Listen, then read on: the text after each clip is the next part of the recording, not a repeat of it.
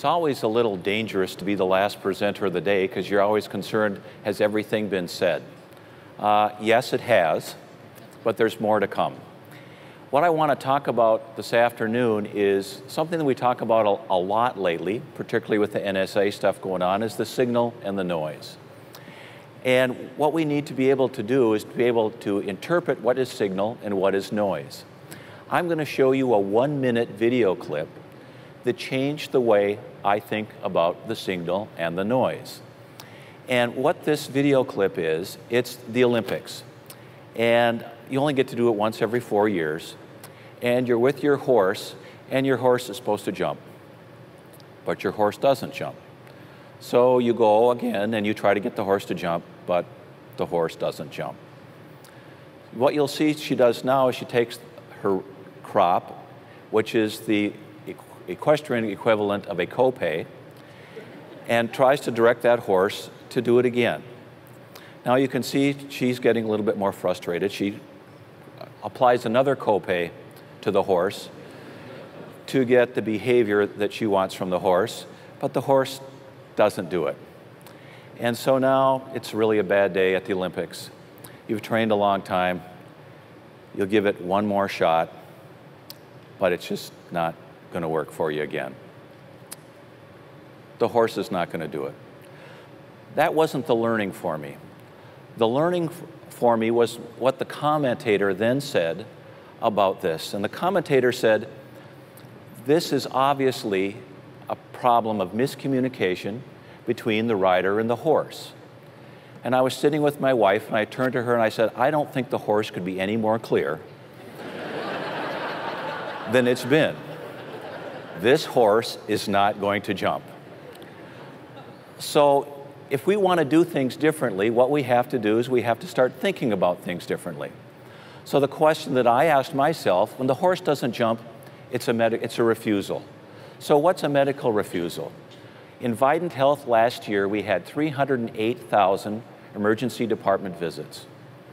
This is after opening many different clinics, having spending a lot of money on communication, telling people that they shouldn't go to the ED.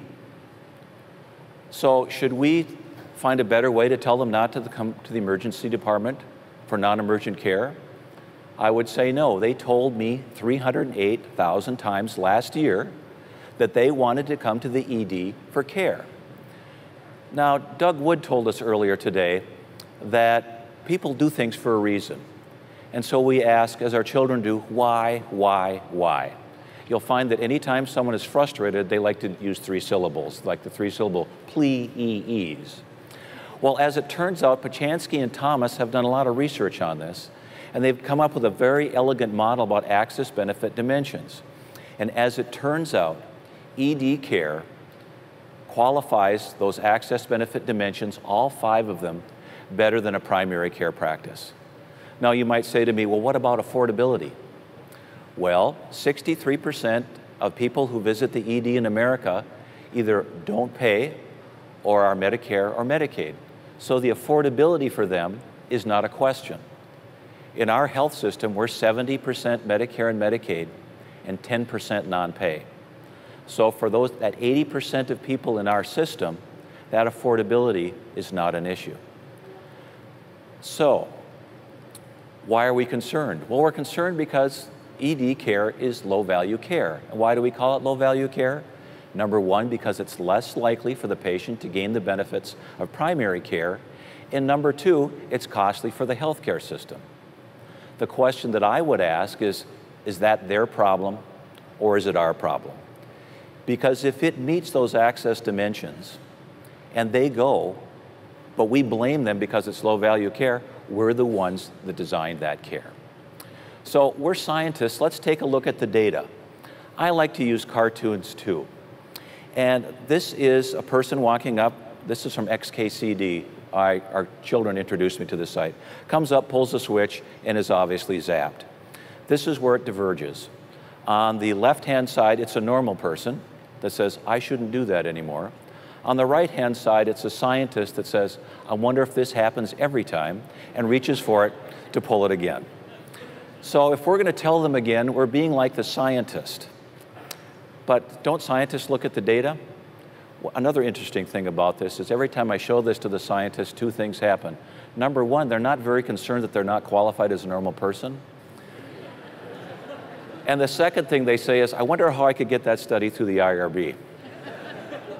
so let's take a look at the data. Who uses the emergency department? As it turns out, everyone does. Our government, and not just the NSA, is very good at collecting data, and they have some very good data on this we get 43 visits per 100 population in the United States, a 120 million ED visits in 2012 alone.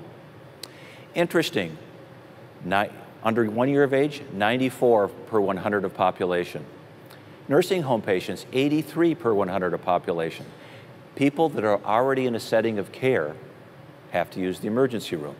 And the homeless, as we heard from our first speaker today, 105 for 100 population, which means that really providing homes first is a good idea. So let's test the assumptions that we have about an ED and that our ED providers have about an ED. First of all, people come to the ED because they're sick. And that's yes, but they're not very sick. 83% of visits to an emergency department in the United States are level three or higher. Most of those are primary care visits. 83%. So they're really not very sick. Well, maybe they come because they need hospital care. And the answer to that is yes, some do. Between 12 and 13% of people who are admitted to the, or that come to an ED are admitted to the hospital. When you take a look and break that down, 70% of those admissions come from people age 65 or older, and if you've been admitted to the hospital or discharged from the hospital within the last 30 days, you have a 40% chance of being admitted from an ED visit. So if you just took out those two populations that came to your ED, you'd account for most of the patients that are admitted to the hospital. The other thing our providers tell us is that trauma is a large driver of utilization. And that's really true. About 22% of all patients that come to an ED come because of trauma. What you need to know is that it's mostly stuff that your grandmother would have told you you'll get better without going to the ED. Only 3% of people need stitches, and only 0.3% of people actually get a cast for a broken bone from a visit to the ED. So what we see is that people are coming to the ED for really primary care. So the question is, what do we do? What I would suggest, if we're going to do things differently, we have to think of things differently. And can we use this as an opportunity to provide better care rather than telling them one more time not to come? Can we be more cost effective at the ED? And can we provide better continuity and prevention? A lot of us are receiving a lot of meaningful use funds. And those meaningful use funds are to make sure that our electronic health records really deliver on that continuity and prevention. Why can't we apply that in the ED. As we know, system problems require system solutions. So we have to change those assumptions within the emergency rooms that we have. Now, we've spent a lot of time changing the, trying to change the assumption of patients, but we haven't spent much time trying to change the assumption of the ED design. What we need to do is we need to change the facility. We really need to change the training our ED doctors provide. Our ED doctors are programmed through their training that everything that comes to the ED is a potentially lethal disease. The statistics show us that that is not the case. So if we can change the facility and make it more primary care friendly or continuity care friendly, change the training to pe give people the training for the stuff that really approaches the ED, then we can change the model. And I would say that changing the, the hard part about this changing the model, it's changing ourselves rather than blaming the patients for making a bad decision, when in reality, for them, it's a good decision. So the reality really is for emergency departments, they're not just for emergencies anymore. The further reality is, and they never really were, people aren't needing emergent care when they come. So we have some choices going forward on how we design our care. Do we continue to bemoan the low value of the use of emergency, emergency departments, or do we change and increase the value of emergency department use? I would suggest that we increase the value of emergency department use. And how do we do that? First of all, we have to decrease the cost of care. We need to decrease the cost of care by knowing when the patients come in, they're not that likely to die. If it's a primary care patient, let's give them primary care treatment. Let's not give them emergency room treatment. And improve the health outcomes of the visit. Where I work is in the stroke belt, and North Carolina is the buckle on the stroke belt. We have a lot of patients that come into our emergency rooms for trauma, for colds, for the flu, and we notice that they have hypertension, which is the largest risk factor they can have for developing a stroke. Do we treat them for their hypertension? No, we don't. We make them aware that they have the hypertension, but then we ask them to seek care with a primary care provider. And as we already know, those primary care providers, the access that they can get from the primary care provider does not meet any of the five access dimensions. Our emergency rooms do a much better job of that. So we can do both of these things. And not only can we do it, it's our responsibility to do both of these things because we are the stewards of the healthcare system. We can change this, we can fix that. So, another thing we need to take a look at is embrace the value of the constraints we have. Everyone tells us to think out of the box. But when you're 70% Medicare and Medicaid and 10% non pay, that's a constraint. But it's also a fairly liberating constraint. We know that waste in medicine is hard to eliminate because someone's waste is someone else's revenue. Probably the biggest example we have of this is when we talk about low back pain. Well, how can I change the care of low back pain when it's good for the radiologist to do a scan and it's good for the surgeons to do the surgery? However, in this population, if you're not getting paid for the service, decreasing the waste increases the bottom line.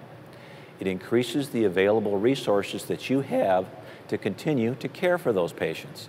So that constraint for emergency department use is really an advantage. The fact that we don't get paid for a lot of the care that we provide allows us to remove that waste and actually do better than we would if we got revenue for it. So when you talk about the signal to noise ratio, there's several things you need to know. If you get less noise, there's likely more signal. However, filters increase the signal to noise ratio, but if you put too tight of a filter on that, too narrow of a filter, you'll prevent any discovery that happens to be in the noise. And I would postulate that we have regarded patients coming to the emergency room for low value care as being noise rather than a signal. So if we're going to change the way we do things, we have to take a step back every now and then and say, is this noise or is this a signal? So we had more than 120 million ED visits in the United States in 2010. Is that a lot of low value care? Or really is it millions of missed opportunities for better care? And I would say at this particular point in time, it's both. However, we're the ones that get to design it. We can change that. We have the responsibility to change that. This is a picture of the Ohio State University, and this is the quad. Now, there's always tension between the students at a university and the faculty of the university because the faculty likes the university and they want it to be green and they want to keep the grass. Well, there's two ways you can keep grass at a university quad. The number one way to do it would be to build a fence around the quad, but you have a lot of 18 to 22 year olds who have nothing better to do than to think about how to go over or under the fence. Or you can do like Ohio State has done, and you can build the sidewalks where the paths already are. What I would postulate is that we have choices, particularly for emergency room care, and for much of the care that we give. And that's that we can either find new and innovative ways to deter people from using our emergency departments because it is low value care and they're not designed to give the care that people are coming there for, or we can build the sidewalks where the paths are worn. This is about scale if we are going to scale the healthcare system for the things that are right, what we really need to do is leverage the behaviors that people already have. There, we do not have enough time, attention, or effort to be able to change the behavior of everybody in the United States. We regard their behaviors as noise. We heard several times today, why won't my patient do this?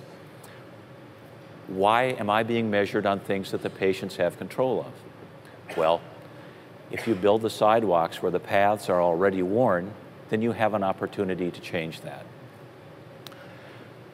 There have been different ways of interpreting information over time, and there's been a progression in the information that we have gotten and the interpretation of it.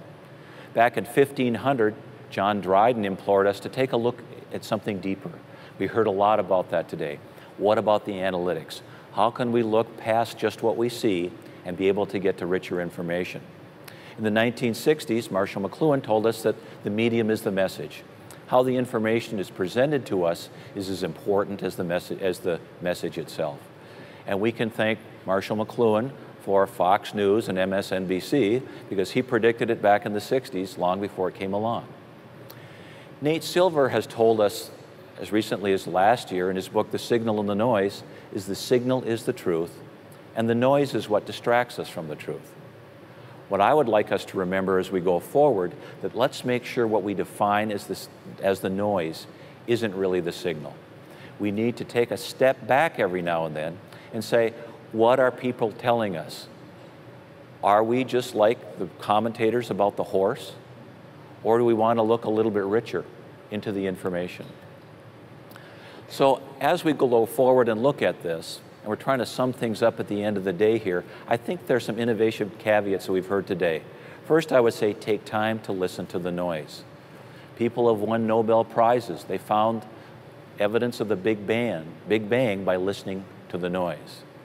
The second thing is embrace and employ the constraints that you have. If something costs you more to deliver than the revenue you're getting for it, that's the first place to change and get the waste out of the system.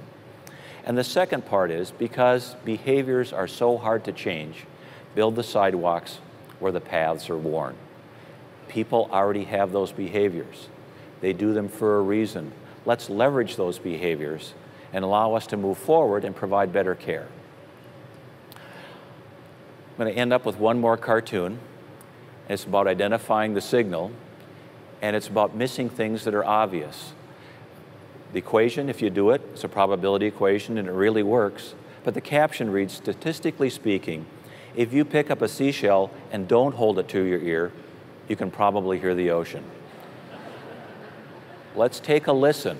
We don't always have to hold the seashell because the chances are you're standing right next to the ocean. Thank you very much for your time and attention this afternoon.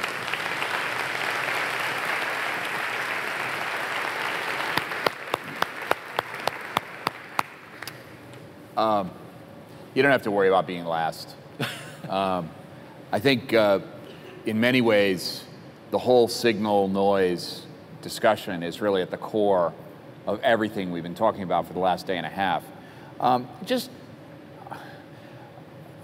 just as abstractly as you can, I mean, what constitutes signal and noise in this sort of broad system? 120 million or something, emergency room. Um, visits? Uh, where's the noise in there, and what would you absolutely be convinced is part of the signal? We've built, or we think we've built, emergency rooms for a specific purpose. And we regard anything that doesn't come in the, the emergency room for that purpose as noise. What's the signal and what's the noise is a choice. Uh, in radio or electronics terms, that's where that really came from. So anything that doesn't meet what we consider to be our definition of something that's useful, useful is the signal. Something that we de decide is not useful is the noise. So we have decided that people who come to the emergency room for non-emergent care are the noise. That's a decision that we've made. And you think that that's an appropriate decision or that there's more signal in what we've decided is noise? I think there's a tremendous amount of signal there. We bemoan the access of healthcare in the country. We say if we could just treat people for their hypertension, if we could make sure that we caught the diabetes or the cancer earlier, that we'd have much, much better outcomes. We already know where the patients are going, and they're going to the emergency room. That could be our one chance in two or three years to detect hypertension and treat the hypertension. Interestingly, there are so many barriers, and we've talked about that today in healthcare. And having started at the Mayo Clinic and moved someplace else, I didn't recognize really how many barriers were out there. For example, if you go to a primary care provider at places other than the Mayo Clinic that doesn't have a wonderfully integrated healthcare system, if you come there for a cough and they decide you need a chest x ray, you have to get in your car, if you have one, or take the bus, if you can catch it, and go down the street, have the chest x ray, take the bus back. That doctor then gets the report, and you say, Oh, you have pneumonia. Here we can treat this. I know, I know that place. It's Yes. the United States of America. The United States Yeah. of America. So tell me why that patient the next time wouldn't just go to the emergency room where they know the doctor, the x ray machine, and the pharmacy is there.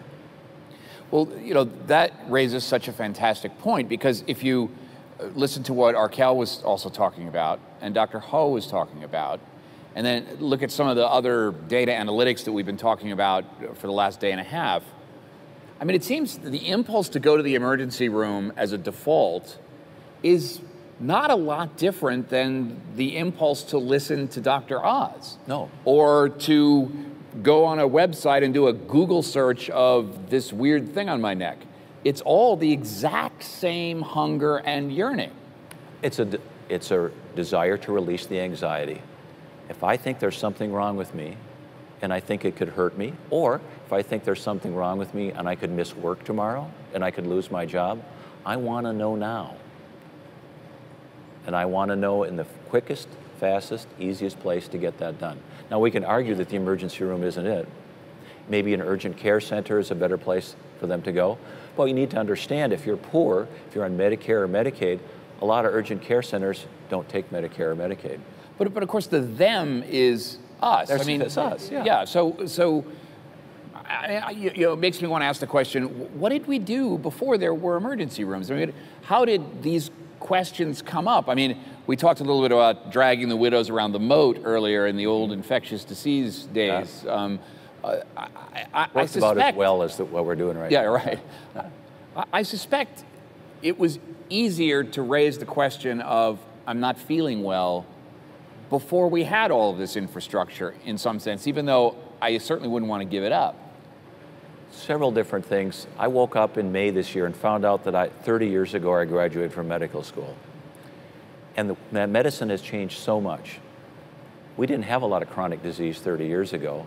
One of the benefits of medicine is we've developed these chronic diseases because they're not killing us. But when you think 60 years ago, when you went to the emergency room, your family physician met you at the emergency room. So you got that care. And the other part of it was there wasn't a lot that they could do for you. Either you're going to get better or you weren't. Think about what we do for a heart attack now, a myocardial infarction, and what we could do 60 years ago. A tremendous amount of change in the things that we can do.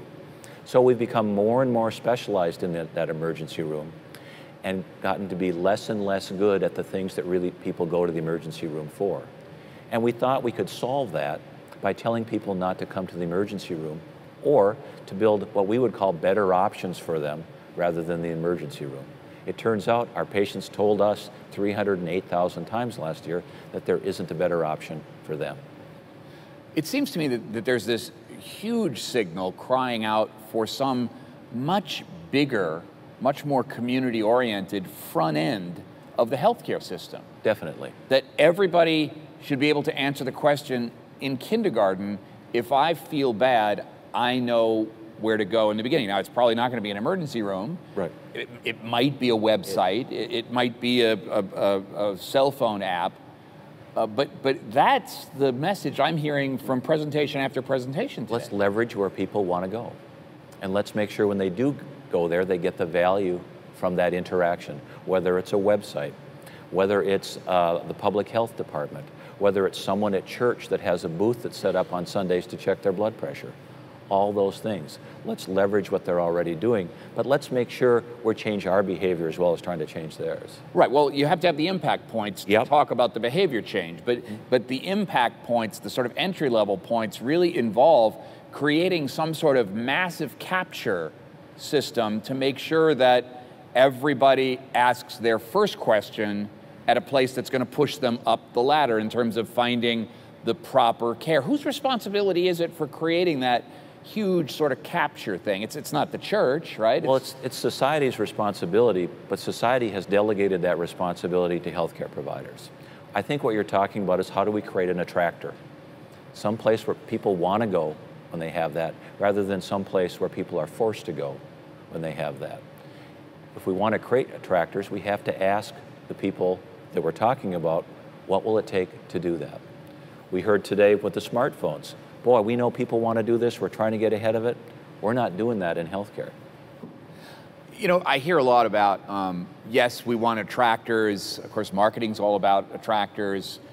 But there's also a kind of a selecting out. We want the certain kinds of folks to be in our population of providers. There's not a an understanding, or there, it doesn't seem to be a design question how do we design an attractor that will bring in the bad behaviors and the good behaviors and make a functioning system out of that? That's what I'm not hearing. Whose responsibility is it to ask those questions? I think it's our responsibility to ask those questions, and it's our responsibility then to go out and build those partnerships. So if we're healthcare providers and our goal is health rather than just healthcare services, and I think we heard that very clearly today, then what we need to do is say, what will it take for us to create health? and who do we have to ask help us, and who do we have to help? What we do at Vidant Health is we pay for the school nurses in Pitt County and surrounding counties. And we do that because, number one, the school district can't afford to do it, but number two, that's where the kids are. And if we can intervene earlier with things like asthma, uh, whether it's a rash or other stuff like that, that's much better for the, the, student, much better for the parent. But we had to go out and talk to the schools and say, would you be our partner with this? we have a tendency, I think anyway, in medicine that say if we're going to help it, we have to own it. I don't think that's the case. I think if we have to own it, sometimes we ruin it. What we have to do is develop the partnerships and allow each and every one of us, just like we heard everybody performing at the highest level of their license, what are things that the health department can do better than I can do in my clinic or hospital? What are the things that the school district can do better than I can do in my clinics and my hospitals?